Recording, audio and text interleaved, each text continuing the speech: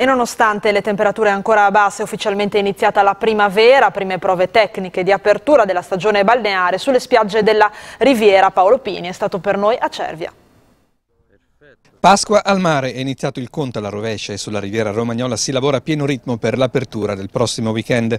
Dopo Rimini, già presente in classifica, Cervia e Milano Marittima sono entrate quest'anno nella top 10 delle recensioni del sito più noto per i giudizi su viaggi e vacanze. C'è chi pulisce e prepara la spiaggia, chi ha già messo lettini e ombrelloni. Bene le prenotazioni, ci dice Claudio Fantini, titolare di uno stabilimento balneare di Cervia. Sì, dopo tanto freddo e tanta neve la gente non vedeva l'ora di venire al mare, infatti anche oggi qui con i cavalli abbiamo visto proprio l'interesse di venire a vivere alla spiaggia eh, di sole e di primavera.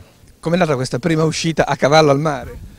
Sì, molto bella, molta emozione, per me era la prima volta, inizialmente un po' di paura, poi comunque lo scenario è bellissimo. Quindi... A Milano Marittima quasi pronto il nuovo lungomare per offrire sempre qualcosa in più ai turisti, si lavora anche sulla passeggiata del centro, cucine tirate a lucido e ristrutturazioni dei ristoranti per iniziare alla grande, ci dice il proprietario Massimo Natale. Direi che in questo momento Milano Marittima è un bel cantiere, quindi i presupposti sono perché alla fine di questi cantieri ci sia una Milano Marittima sicuramente più splendente eh, per ritornare ai vecchi splendori insomma, di qualche anno fa.